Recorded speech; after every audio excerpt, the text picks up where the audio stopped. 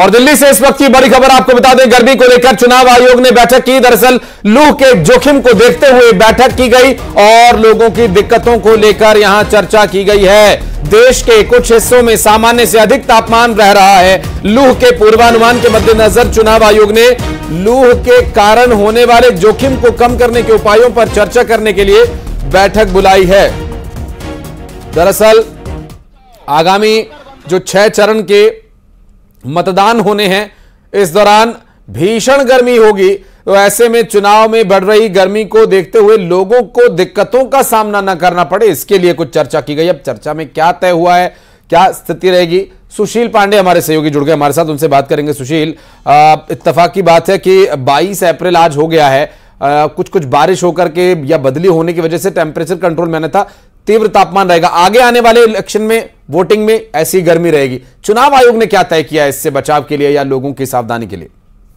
जी देखिए अभी चुनाव आयोग की बैठक तमाम स्टेक होल्डर्स जो हैं तमाम राज्यों के मौसम विभाग के बड़े अधिकारी उनके साथ अभी चुनाव आयोग की बैठक चल रही है। क्योंकि आगामी चुनाव में गर्मी और जिस तरह तापमान बढ़ रहा है जैसा अभी आप बता भी रहे थे उसके मद्देनजर फ़िलहाल सुरक्षा कर्मियों को मतदाताओं को दिव्यांग और जो तमाम गर्भवती महिलाएँ हैं हम्म। उन तरह से पोलिंग स्टेशन पर सुविधा मुहैया कराई जाए चुनाव आयोग के द्वारा, उसको लेकर एक बड़ी चर्चा चल रही है और इसे माना जा सकता है कि चुनाव आयोग इस बाबत एक बड़ा फैसला आने वाले कुछ घंटों में ले सकता है कि जिस तरह से तापमान कई राज्यों में बढ़ रहे हैं, लू लगातार चल रही है, उन तमाम चीज़ों को कम करने के लिए ऐतिहासिक चुनाव आयोग के द्वारा और अतिरिक्त क्या कदम उठाया जाए, उसको लेकर एक बड़ी चर्चा चल रही है। कितने पोलिंग स्टेशन पर जो पानी की सुविधा है, उसको बढ़ाया जाए पंखों की क्या स्थिति है कर्टन कितने लगाए जाए टेंट्स कितने लगाए जाए, इन तमाम जगहों पर किस तरह से और कदम उठाए जाए ताकि जो मतदाता है सुरक्षा कर्मी है या जो पीठासीन अधिकारी है, उनको दिक्कत ना होने पाए।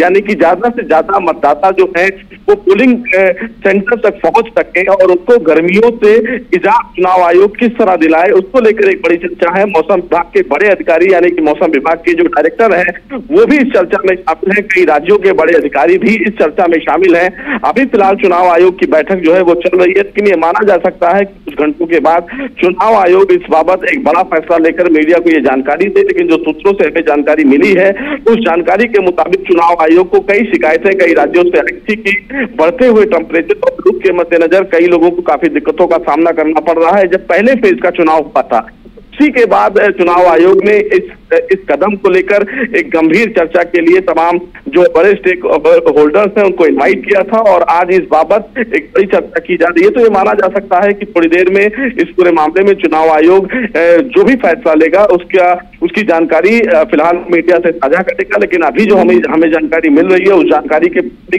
मौसम विभाग के भी कई बड़े अधिकारी और कई राज्यों के जो बड़े अधिकारी हैं, वो इस चर्चा में शामिल है। बिल्कुल, और चूँकि सामान्य स्तर पर जब सामान्य तौर पर इतनी गर्मी होती है, हर कोई कुछ ना कुछ उपाय अपनी उससे करता है, लेकिन यहाँ पर ज़िम्मेदारी चुनाव आयोग की सुशील इसलिए भी बढ़ जाती है क्योंकि चुनाव कराना है, और जिस तरह से आप मतदान के रिकॉर्ड तोड़ने का दावा कर रहे हैं तो आपको फिर व्यवस्थाएँ उसी तरह से रखनी होगी, क्योंकि आप दिल्ली में सुशील जब कवर करते हैं तो दिल्ली के मतदान केंद्रों पर कितनी भीड़ होती है और गर्मी में इतनी लंबी लाइन में क्या कोई लग करके वोट करेगा, इसके लिए भी उन्हें वहाँ पर रोके रखना बहुत बड़ी चुनौती चुनाव आयोग के लिए होगा। लोगों को घरों से निकालना ही यूँ मुश्किल हो जाता है कई बार, लेकिन अब देखना होगा कि चुनाव आयोग अगर इसके बारे में संज्ञान ले रहा है तो वो क्या निर्णय लेता है, क्या फैसले यहाँ पर लिए जाते हैं। बहुत बहुत शुक्रिया सुशील आपका। फ़िलहाल इस पूरे मामले पर जानकारी देने के लिए।